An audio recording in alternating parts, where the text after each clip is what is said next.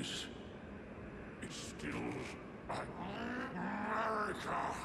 Will things never tarnished? What I have done henceforth farewell.